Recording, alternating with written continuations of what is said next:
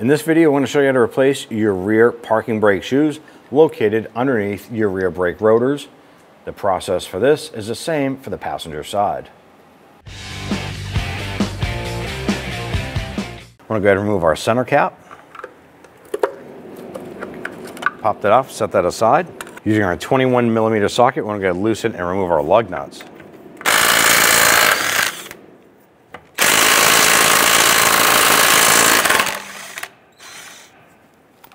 With the lug nuts removed, go ahead and grab the wheel, remove it, and set it aside. On the back side of a brake caliper, there are two 15 millimeter bolts you want to loosen and remove. Just lower one here, and then the one up on top.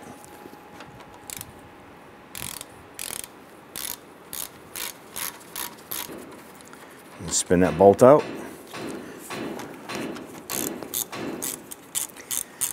Now we did go ahead and spray down our hardware with some rust penetrant to make things a little bit easier is our second bolt. Go ahead and set that aside. At this point here, we're gonna go ahead and use our pry tool. Go ahead and work our caliper off, gently wiggling that back and forth.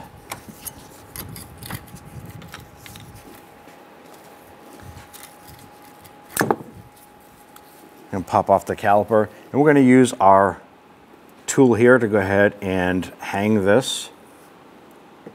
We're gonna put it through the eyelet there for the bolt and just gonna pull this up top and set it up top, supporting this unit.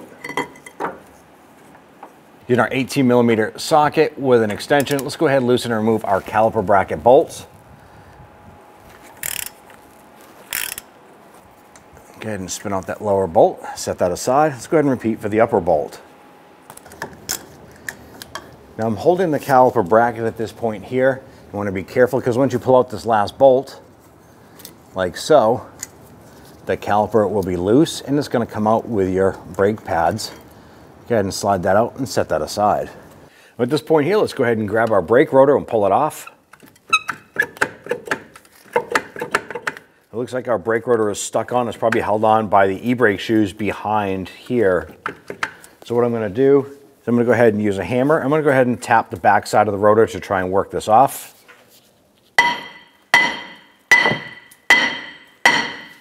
And work the front a little bit.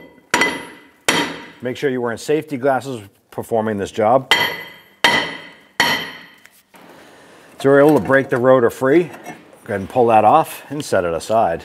Now on the back side here, we have a spring and we have the adjuster wheel with the little star wheel. What I'm gonna do is I'm gonna go ahead and try and move our adjuster wheel here to try and compress this threaded part into the adjuster. And ours is actually frozen. So at this point, we're gonna go ahead and use our spring tool here with the hook. Gonna go on in. Let's go ahead and pop that spring off. Set that aside.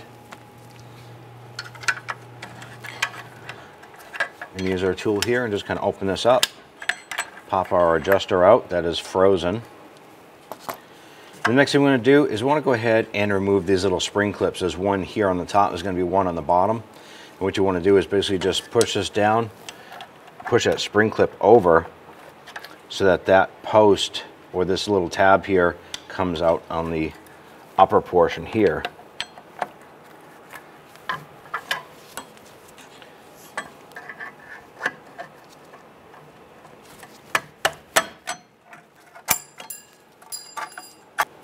Now when that clip pops off, there is a post on the back side or a pin.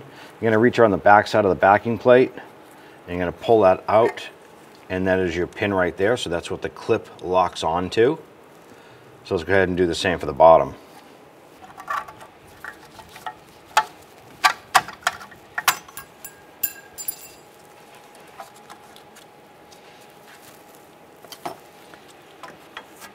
Once we have these unclipped, let's go ahead to the other side and remove the main spring on the forward side of the shoes. So here is a spring on the forward side. Now both of our upper and lower shoes are loose. You could do one of two things. You could just kind of stretch these out and kind of work this off like so, which is probably going to be the easiest way to do it. Or you can try and pop that spring off using another tool, but that's pretty easy to do it that way there. And basically unhook the spring from your shoes. Once we have everything cleaned off, you want to go ahead and inspect your backing plate. Make sure the backing plate is nice and solid. And then we're going to go ahead and use a bristle brush and just clean off the scaly rust if you have that.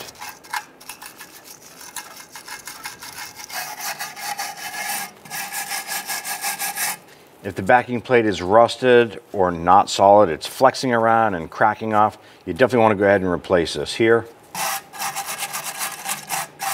Ours is a little bit rusty, but it's definitely usable.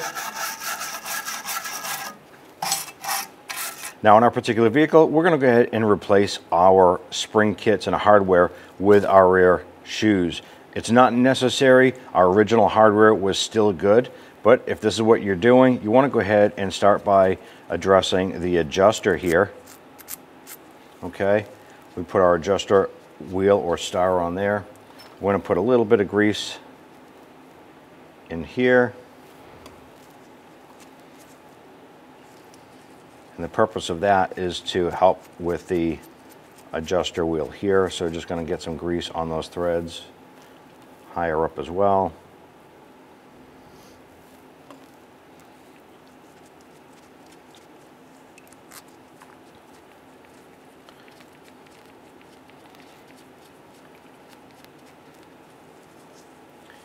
And that is your assembled adjuster. Now if you're going to be reusing this adjuster here, the adjuster wheel is frozen here, so we want to go ahead and just pop off the bottom here. I'm going to use a pair of locking pliers and I want to grab the teeth. I don't want to crush them, but you want to go ahead and grab them so that it doesn't spin. I'm going to go ahead and spray this down with a little bit of rust penetrant on here. It's always benefit, uh, beneficial if you can always get that on sooner. You want to just go ahead and give this a few turns. See if you can loosen this up. I'm going to spin right on down here. Ours was able to come off pretty quick. I'm going to spin off the adjuster. I'm going to go ahead and run this part of the adjuster through my wire wheel machine. You can use a bristle brush or whatever you have. To go ahead and clean up those threads. You want that adjuster to be able to go all the way to the top. So if you just have something like this, go ahead and clean off that rusty, scaly stuff. Give it a good spray. And then work that adjuster back on. Now once you have everything loose and working good, we're just going to throw a little bit of grease on that. You can use some anti-seize compound if you want. In our case here, we're just going to use a little bit of grease. Go ahead and wipe off the excess.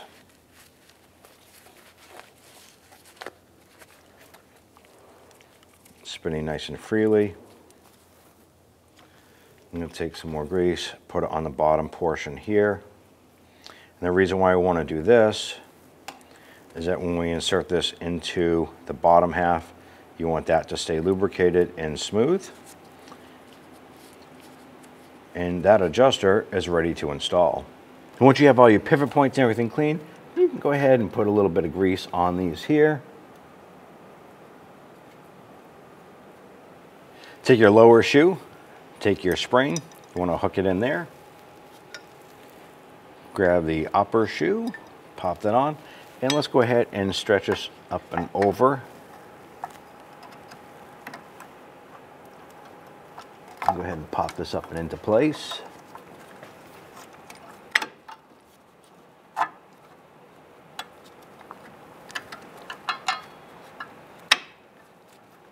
Right, so we'll go ahead and get our shoes popped in there. Now the shoes are actually set in place on the forward section here.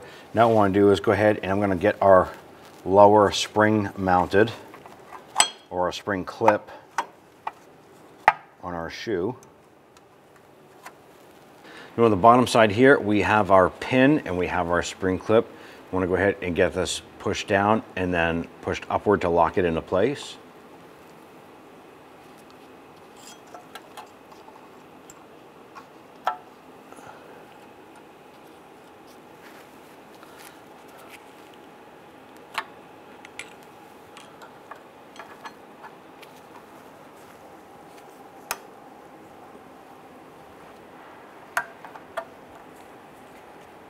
So we're on the back side, we're using a mini screwdriver, a flathead screwdriver to go on the back and apply pressure to the pin on here to push this pin outward. This is gonna allow us to get this lined up and push that on like that. Now on the back side here, we're gonna get and install our adjuster.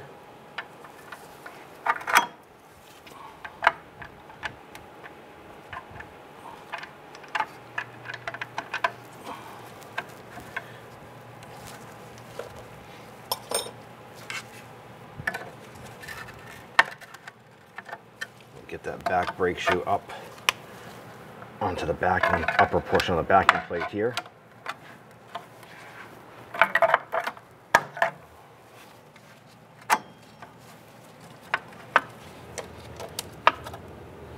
Now that we have the adjuster in, let's install our spring.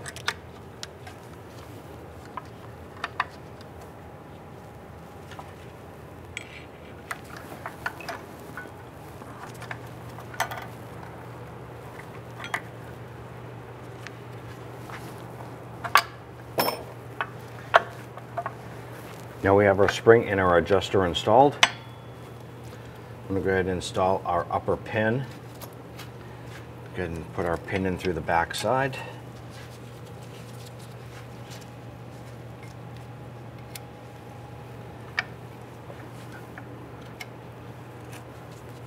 It's gonna come through the front side of the shoe.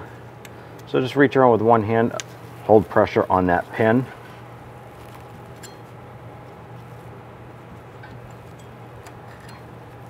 Gonna line up the spring clip here.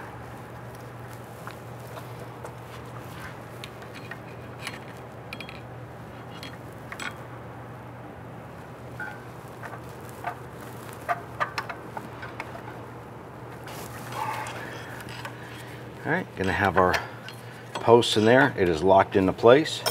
Now you wanna make sure that your e-brake shoes are both on the back part of the backing plate. Kind of seat those in. Check your spring clips, making sure they're in all the way. We're good. Now before installing your brake rotor, you want to go ahead and clean off the surface of your hub here. We have a little bit of scaly rust on here, so we're just going to use a wire brush. And you want to go ahead and clean this up. The reason for this here is you want to make sure when you put on your new brake rotor that this is all nice and flush. If you put your brake rotor on and there is a chunk of rust here, it's not going to sit flush. It's going to ride crooked. You're going to apply your brakes and the rotor is going to be wobbling around, so you don't want that to happen. You must have a smooth surface. Let's go ahead and clean this up. Once you have this cleaned up, just give it a spray with some solvent here. Clean up that surface, and we just wipe it down.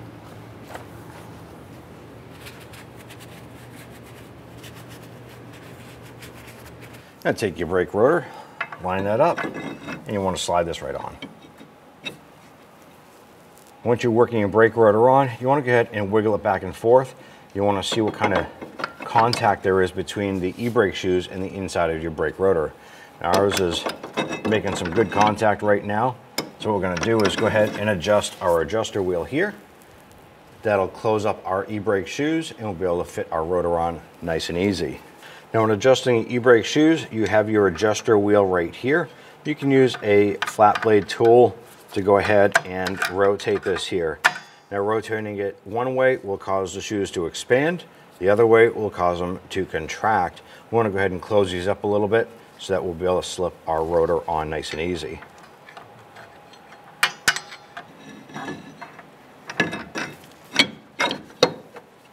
Here we go. Our rotor slips on nice and easy. We have a little bit of play here. And we're spinning freely. So our rotor is good and our e-brakes are adjusted. Take your caliper bracket, slide that over your caliper, and I'm gonna go ahead and get the upper bolt started first. Once we get this started a few threads, I'm gonna go ahead and install the lower bolt. With both of these started, let's go ahead and snug those down. Go ahead and snug both of these down. Let's go ahead and torque these bolts down to 96 foot-pounds.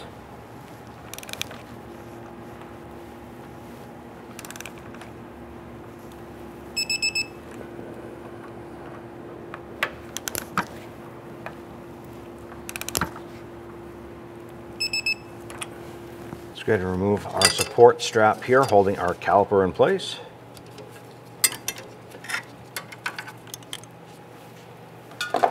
Next thing we want to do is we want to go ahead and compress this piston back into the caliper itself. I'm going to use our tool here to go ahead and do so. I'm going to do this slow and it's going to push this piston back in, pushing the fluid back up into the lines.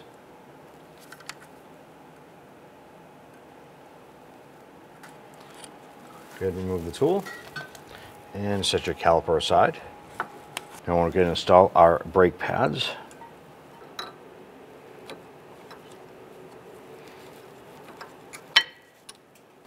All right, once we have this side in here, go ahead and repeat for the back side. Go ahead and bring your caliper down into place. Slide that over and get your caliper bolts started.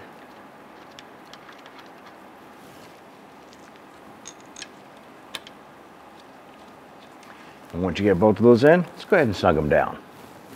Let's torque down our bolts to 23 foot-pounds. We'll repeat for the upper. Let's go ahead and install your wheel. I'm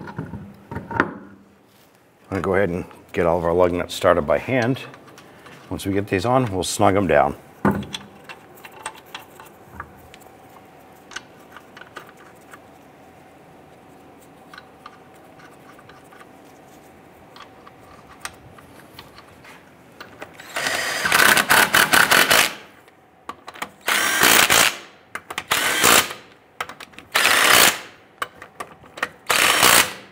Go ahead and torque down our lug nuts to 110 foot-pounds.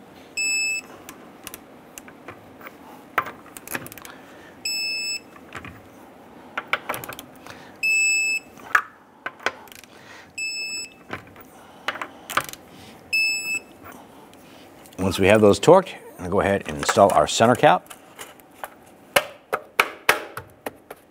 And you're all set. When only the best will do, demand TRQ. The only company that lets you view before you do. TRQ is committed to offering the highest quality aftermarket auto parts that are engineered for peace of mind. Thanks for using and viewing with TRQ.